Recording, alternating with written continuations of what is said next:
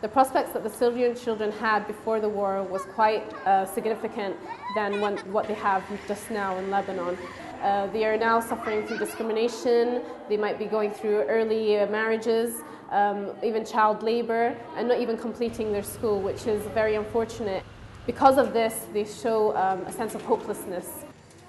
من بعد ما جيت من سوريا تصرفات ولادي تغيروا كتير الولد صار يتعامل بالعنف خصوصا إني هون يعني على طول إني بالبيت محبوسين ما بيطلعوا لبرا ما بشوفوا عالم كتير.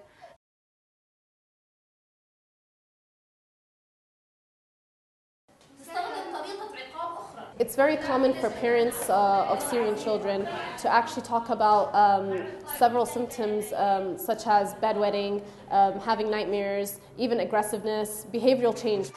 Leaving a child untreated can lead to, for example, depression, anxiety problems, even phobia, which can be very difficult to treat later on. Children now, they're more resilient um, for treatment, so they're able to be treated easily and effectively at now rather than later on in adulthood.